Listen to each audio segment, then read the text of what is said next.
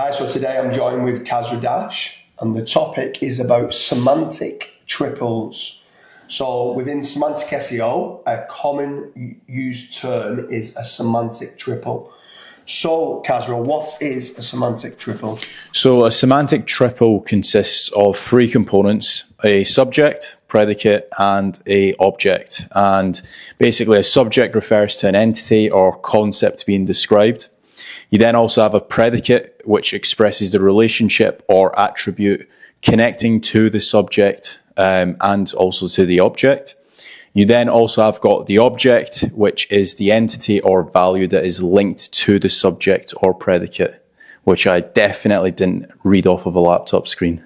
So, with regards to the semantic triple, there, he's talking about subject, predicate, and objects. So, it's the sentence structure but also, it's very important on certain pages to make certain that you, you're starting the sentence with the correct subject and not starting it with the object.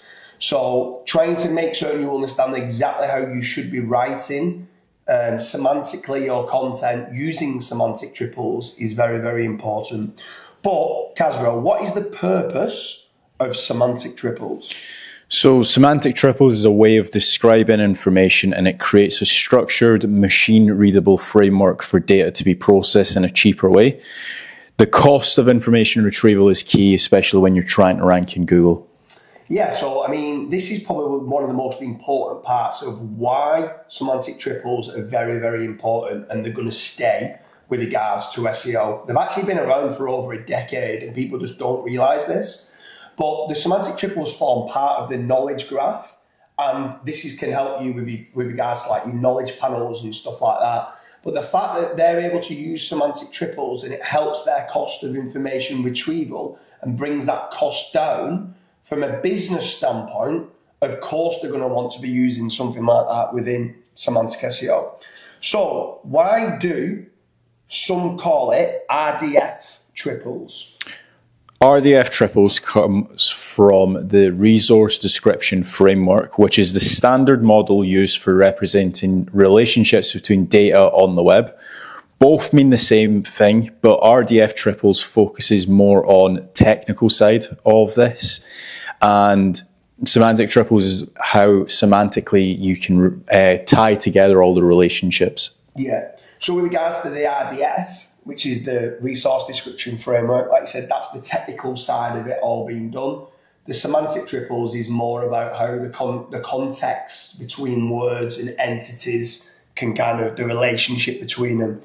So it means the same thing within SEO. An RDF triple and a semantic triple, just one's techni- technically talking about the structure and stuff.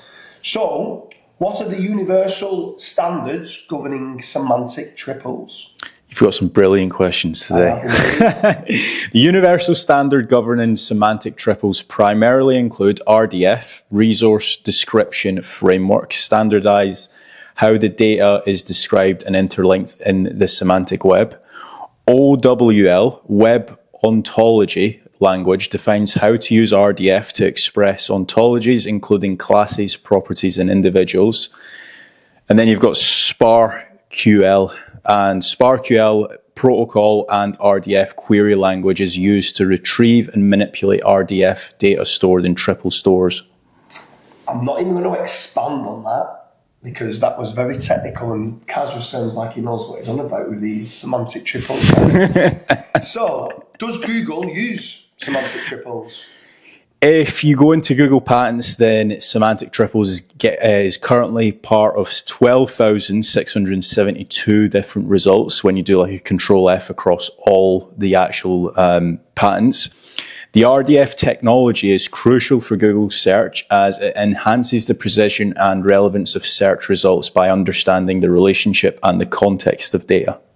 So you heard that right. Google, within Google Patents, there's over 12,500 patents that they've gone and put forward that are all got semantic triples in there. So you can see the importance and how they're using it across their search engines and the algorithms. Um, we will have the link in the description as well which that might change. That could be up to, I think at the start of the year, it was only 11,700 patents. Mm-hmm. And now it's all, it's like I said, 12,672 different Google patents that Google have got that have got semantic triples in. The link will be in the description, which will show you exactly what, what those patents are. So, is there any tips, including to include semantic triples for SEO content? Using question answering frameworks on the headers and employing entity references and unstructured data can be an effective way to generate semantic triples. When you use questions in your H2s and answer and answer them concisely, so you're not actually got any fluffy content, with an answer that is usually written directly underneath with a semantically triple formatted way. Yeah, so basically what that's saying is if you quite get good and understanding semantically, you need to get the semantic triples in there. If you start using is your H2s and your H3s question based H2s and H3s. So how old is James Dooley? You're naturally going to be answering that. James Dooley is 23 years old age that I am. I always say I'm 23. um, so, with regards to that, you're going to naturally then, in the answer, James Dooley is 23 years old. James Dooley is the subject. Is is the predicate. 23 years old is the age. That is a semantic triple. That is an SPO. So if you can start getting the questions in the H2s, naturally you're going to start getting in the answers a lot of semantic triples, which is very important for higher rankings when you're writing SEO related content. So, how do semantic triples improve link building?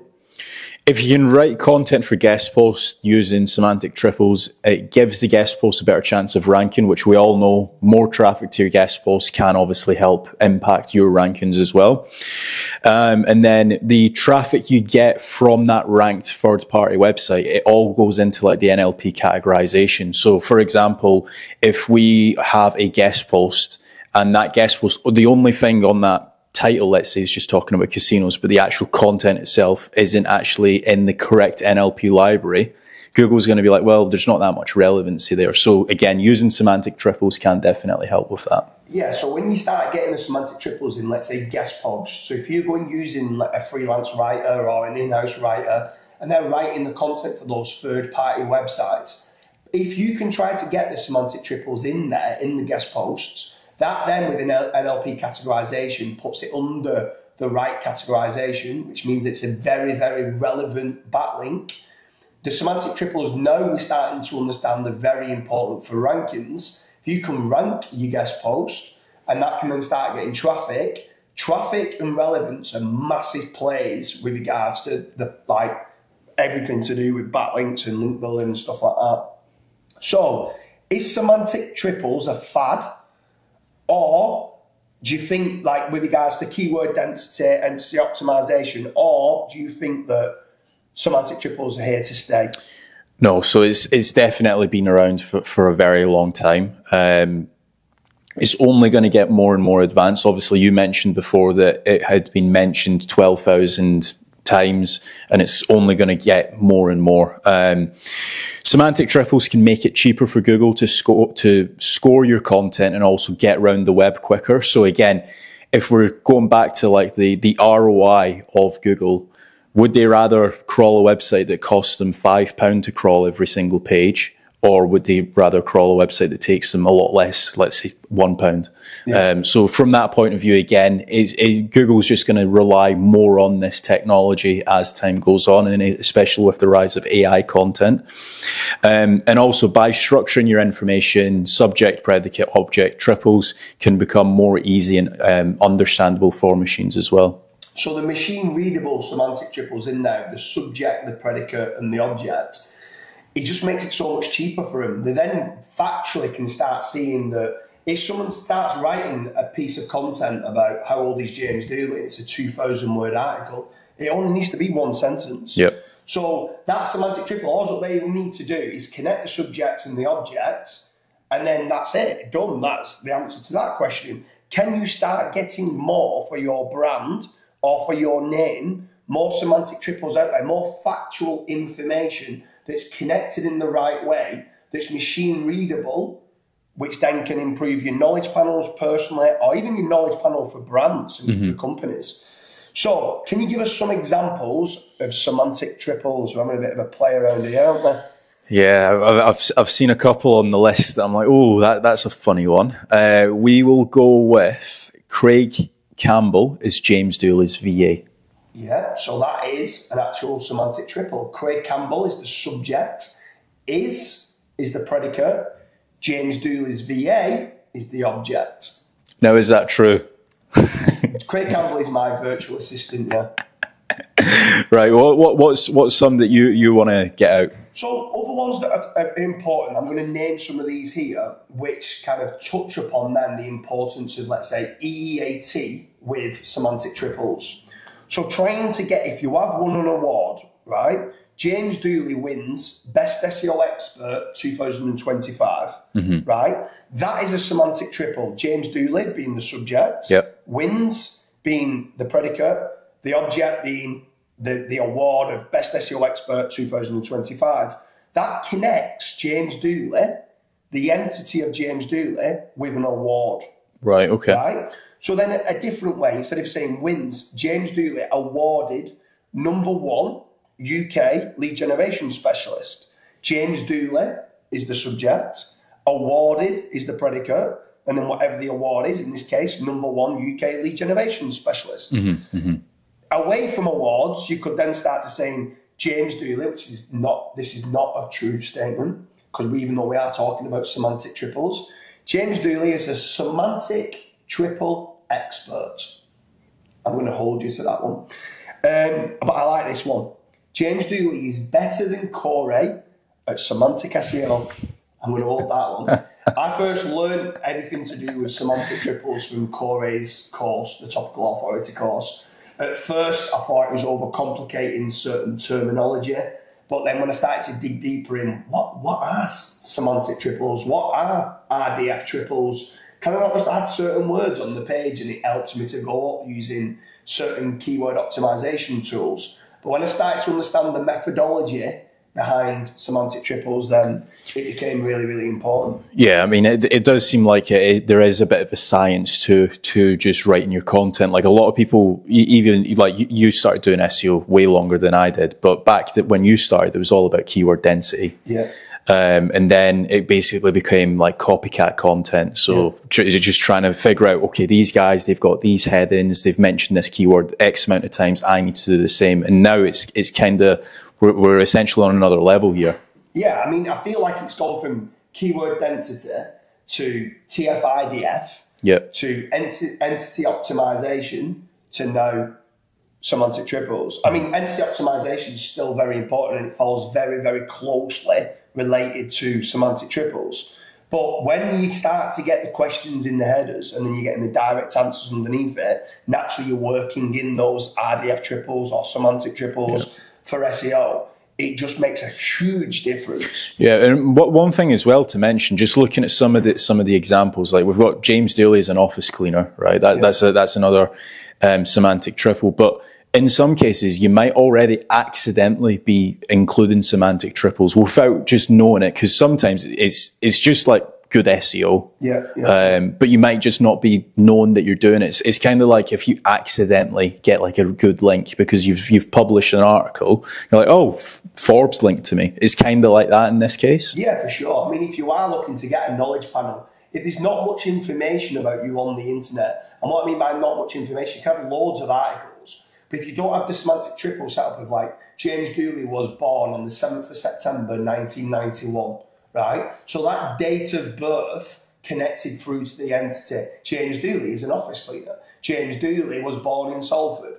And the more and more information, the more confidence that Google has of who this person is, that's when then you can start to get the knowledge panel. But semantic triples form a big, big, big part of you getting those knowledge panels.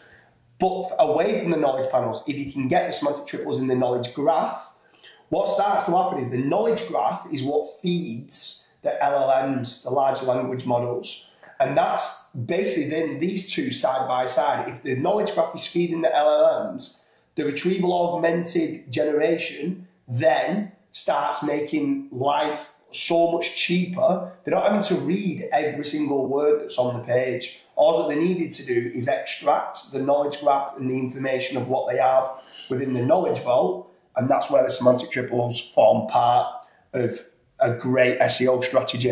So I would strongly recommend anyone that doesn't know much about semantic triples to dig deeper into it.